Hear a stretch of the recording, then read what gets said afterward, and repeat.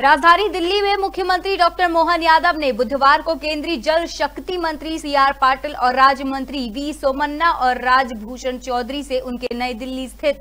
कार्यालय श्रम शक्ति भवन में सौजन्य भेंट की। इस दौरान सीएम मोहन यादव ने जल शक्ति मंत्री से मध्य प्रदेश में सिंचाई से संबंधित परियोजनाओं और जल संरक्षण कार्यक्रमों पर सकारात्मक चर्चा की। इसके साथ ही मुख्यमंत्री डॉक्टर मोहन यादव ने केन बेतवा परियोजना और पार्वती काली सिंध चंबल परियोजना की वर्तमान स्थिति से जल शक्ति मंत्री को अवगत कराया और परियोजनाओं के क्रियान्वयन से जुड़े विभिन्न विषयों पर विस्तृत चर्चा की।